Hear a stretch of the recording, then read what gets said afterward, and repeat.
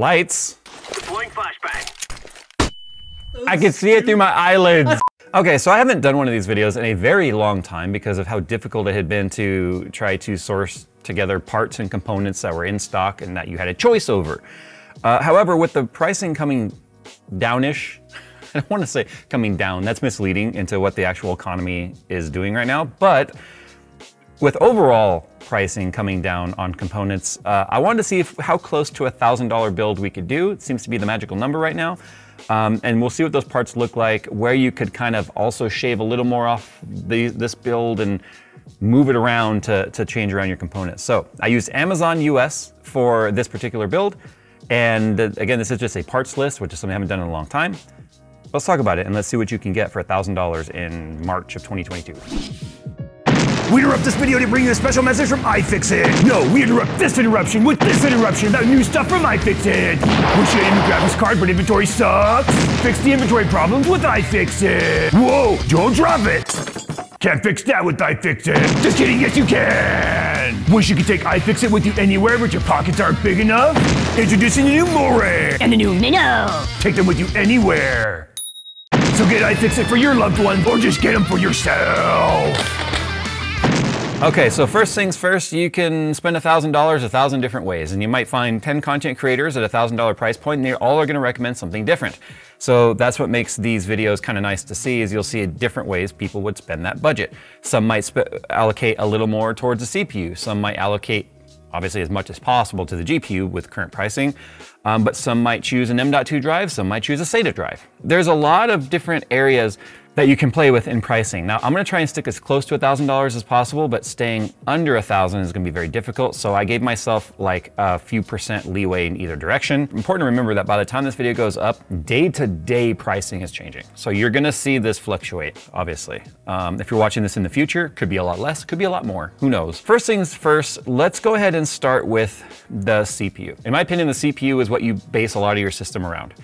If you go with a really low spec CPU, you obviously don't want to pair it with a really high end GPU. Now we're not going to be pairing it with a high end GPU, obviously, because we're at a thousand dollars price point. So that's never going to be, I mean, that's not even enough for a high end GPU. So we obviously know that that's not going to be an issue there. However, in terms of availability of 11th gen Intel and 12th gen Intel and the premium Intel still charges for their CPUs, it's still extremely difficult for me to recommend an Intel CPU when it comes to uh, this price point. That's why I stuck with, uh, once again, a Ryzen CPU. So this time, five, uh, 5600X. Yes, I could go a little bit lower. I could go like 5400G or something like that. But I'm really planning on sticking with a discrete graphics card because of the fact that the discrete graphic or the, the integrated GPUs that are built into Ryzen right now are still based off of old Vega technology. And if we were seeing RDNA implementation into APUs. That would probably change my mind. However, because it's still based off the old Vega architecture, it's still not great. So with this $1,000 price point and the GPU that I chose that you'll see later on, I feel like this is gonna be an overall better performer. The 5600X is a six core, 12 thread CPU. It's based on uh, AMD's latest Zen architecture. The IPC is very good, the clock speed is very good, and it's more threads than you're gonna need in any current title as of now. So the six cores, 12 threads is going to give you a lot of future compatibility when it comes to games. And the 5600X is a pretty awesome overclocker if you want to start playing around with overclocking. However, the board that we chose to pair it with is a Gigabyte B550M DS3H. It's a B550 chipset. We don't need any of the X570 stuff to increase our costs artificially with features that we aren't going to need. Um, and by the way, I forgot to mention the 5600X, I also is in leaving the box cooler on there because as we showed you in the past, box coolers are still perfectly fine for any of the CPUs in this particular range before you start overclocking. So like I said, the B550M DS3H, it's got dual M.2 slots on there. It's got plenty of SATA 6 gigabit per second ports on there.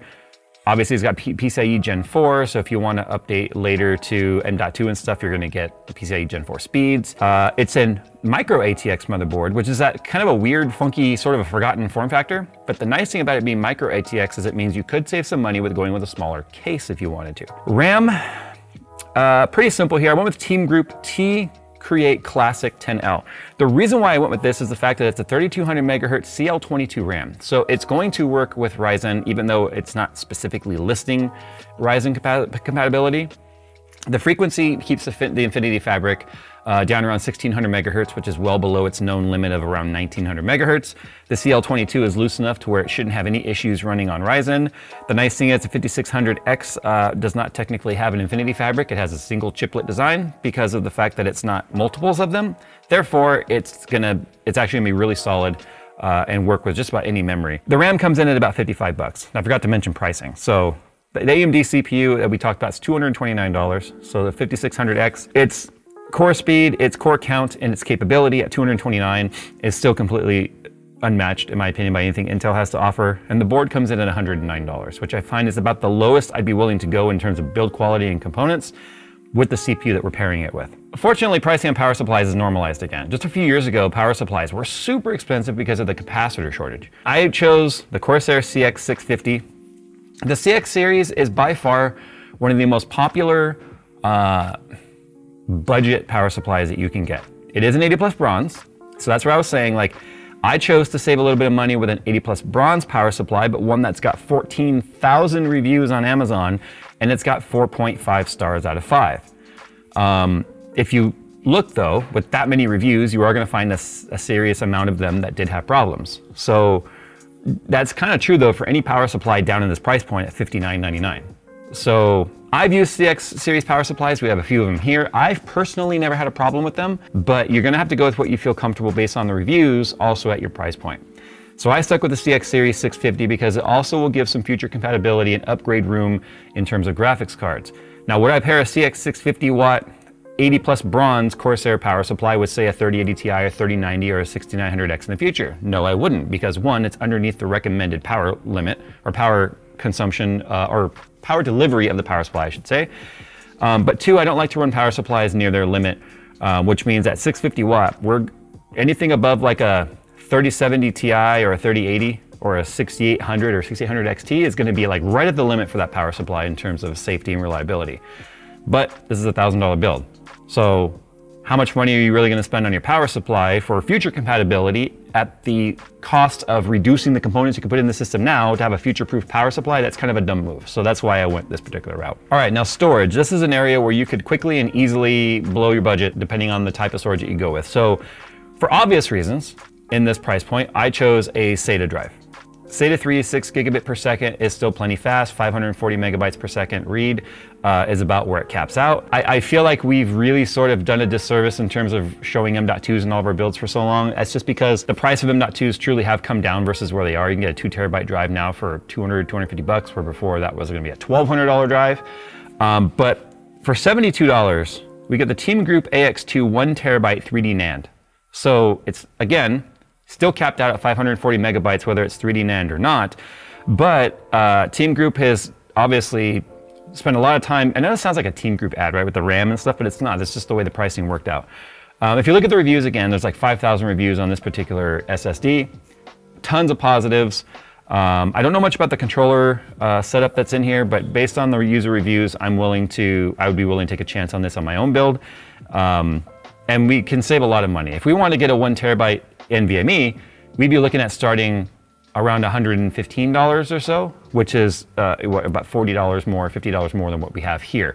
So as you can see, the prices really start to stack up quickly. Now here's the thing, you could also save money by going with a smaller drive if you wanted, if you have another drive that you could use as a secondary drive. The problem is with the size of the Windows partitions these days and the size of games, something like a 480 or a 500 gigabyte drive or 512 is just gonna fill up extremely fast. You're gonna find that you might be able to put one, maybe two games on there at the most, and you're gonna have very little storage left over. So if you want to put pictures, you want to put store videos or edit videos, you're not gonna even be able to import a lot of the videos depending on how big your capture is without having a second scratch drive or something else. So that's why I just say one terabyte with today's program sizing is the absolute minimum. Graphics card, and I'll talk about the case after that. Graphics card, I chose the EVGA uh, 1660 Super. It's still $464, which really sucks because that card is a generation old and that card should be around $290 or so, $280. So you can see pricing is still high. It's slowly coming down, but still high. But a 1660 Super is going to give you perfectly fine 1080p gaming. It's not going to give you DLSS, it's not to give you ray tracing or any of that stuff. It's just going to give you a good 1080p uh, with six gigabytes of GDDR6. So in terms of frame buffer, you have plenty of overhead when it comes to the six gigabytes at 1080p. Um, it's going to have no trouble running 1080p, 120 hertz, 100 hertz, some games 140 hertz, no problem. The dual fan makes it silent. We just had really good success with this card. We actually have one, a couple of them here. Um, haven't had any issues with them in the past. I find they overclock extremely well when you get the EVGA version because of the fact that they have tons of cooling headroom uh, and they have a more unlocked power limit. So if you want to max out the power limit, give it a little bit of extra core clock, you, you have that available to you. But at $464, you can see that's nearly half of our entire budget. So that's why I was saying you start, you have a fixed budget, right? If you, if you push one graph down, another, another graph has room. But if you push that graph down, another one can come up. Well, if they're all up, they can't be, right? Because they're going to have their limits based on where the, the caps are going to be. So that's why that left me uh, going over budget, obviously the, about the price of the case, which is the Fractal Design Focus G. Now the Focus G has two intake fans, plenty of mesh. It's going to fit an ATX board, which gives us future upgraded path if we want to. Um, but it's $71. So I tried to stay at exactly $1,000 or below and it doesn't include tax. The problem with tax is it's different everywhere you are.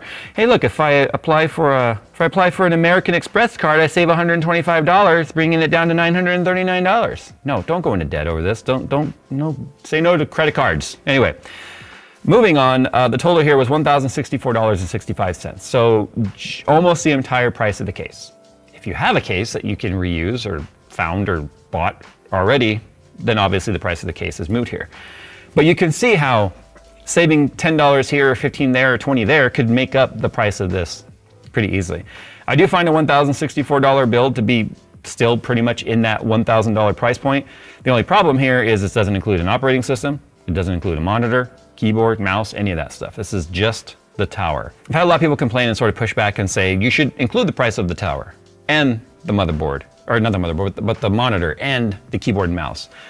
Um, the thing is, there's just so many different routes there. Some people will choose just to use a TV in the meantime. Some people might already have just a super generic keyboard and mouse. Um, this is just, I mean, we talk towers here because the tower is the most expensive part of the setup. Now, places you could obviously save a little bit of money here. You could step down the CPU slightly if you want, but I wouldn't recommend going down to a 3000 uh, Ryzen series, only because of the IPC and clock speed improvement of the 5000 series Ryzen, in my opinion, makes the $229 worth it. The CPU will last a while, and by a while I mean quite a few years. Six cores, 12 threads on 5600X.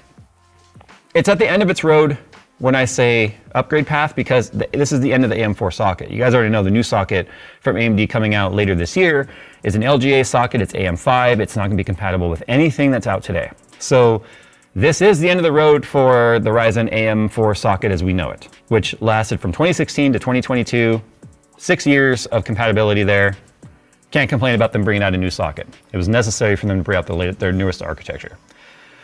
The motherboard, not really anywhere to save money there. $109.99. There might be some that are 10, maybe $15 cheaper, but it comes all down to, again, user reviews and reliability. The Gigabyte DS3 series has always been pretty reliable. Um, they're always more of an entry-level board. You're not, it's not gonna be super heavy. It's not gonna be tons of layers of PCB. It's not gonna have a, a lot of the frills and stuff that people are used to, but it's just a solid board that will boot and will work. As much as I don't like Gigabyte BIOS, they still make a solid motherboard, especially down at that price point. That makes it hard not to pair a $229 CPU with a $109 motherboard, making that combo cheaper than any Intel option, just for the CPU. So you can see why I went that route. The RAM, $55 for the RAM, for, eight, for 16 gigabytes of 3200 megahertz CL22 timing RAM.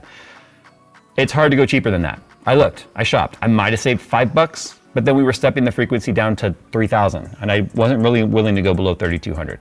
3200 has the, the, the best um, support in terms of AMD's reliability in terms of DOCP and such.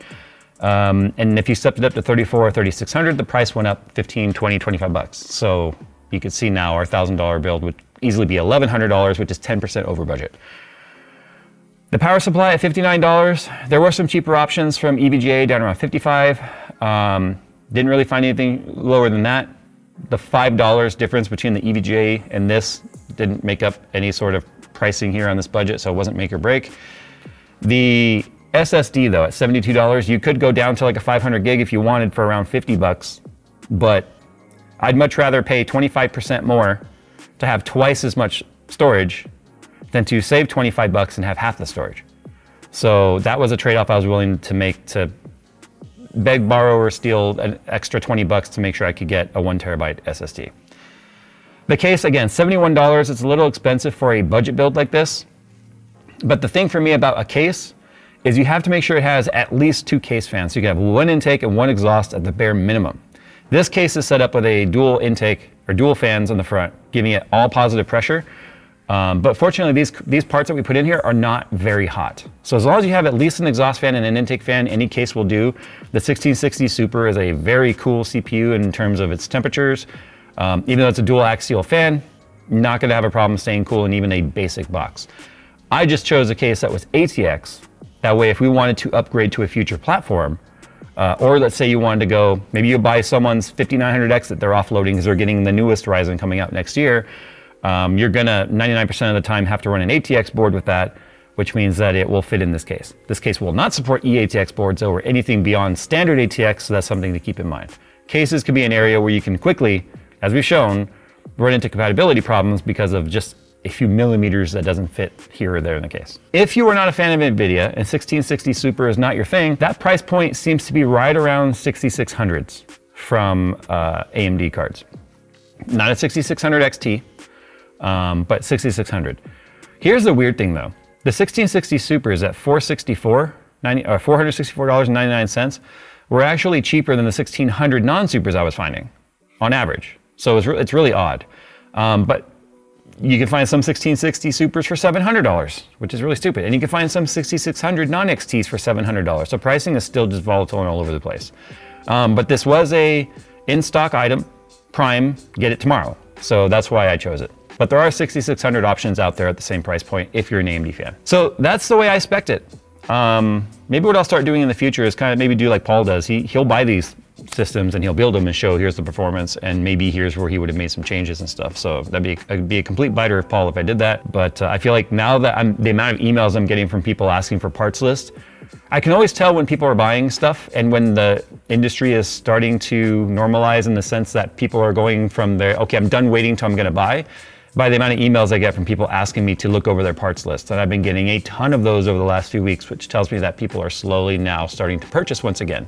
So not only are views starting to creep up again, so are the amount of people asking me for their, my advice on parts lists, which tells me that uh, spending money on PC parts is happening again. Not that it ever stopped, it's just I think the average Joe now is starting to buy, whereas before it was everyone else that was just either with uh, you know disposable income buying expensive parts or whatnot. Now the average guy is out there trying to build their system because they're done waiting. Anyway, guys, what would you change in this system? Uh, I'll put the full list of parts down below, and then you guys can tell me how you would spend a thousand bucks. So thanks for watching. As always, we'll see you in the next one.